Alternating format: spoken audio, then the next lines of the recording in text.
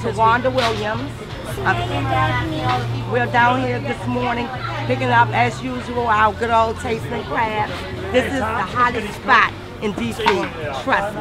I've been coming down here to the wharf ever since the 1990s. There's nothing and nothing else in DC hotter than this stand right here.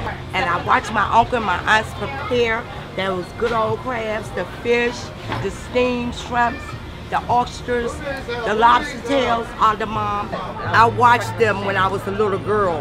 That's how long they've been coming. It's, this is truly a tradition in my family. I learned to cook those good old crabs. I learned to cook the steamed shrimps. I learned to how to fry my scallops, steam my scallops. I learned to do the crawfish. I learned how to even do those big old lobsters. My, my uncle, my aunt, my mom, we all always get together on family reunions, anniversary weddings, whatever, graduations, which I just left down here.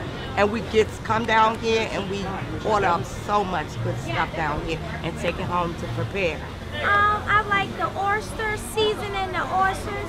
I like making the sauce for the crabs. Um, Ooh, yeah. What's in it is mayonnaise, a little bit mustard, and um, ketchup, the Old Bay season that comes with it, and crab season. That's come with your crabs, and they all over it. Goes good with the shrimp. Yep, and um, I like steaming the shrimps, making the shrimps. Um, I like doing everything. Um, I like the crabs, I like the fish, um, I like the salmon. I'm a big fan of sardines.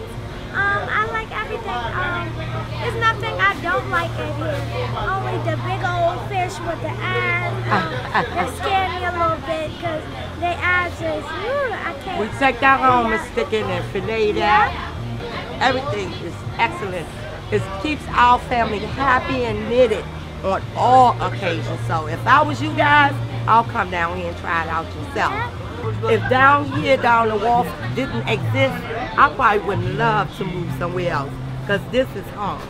I love it.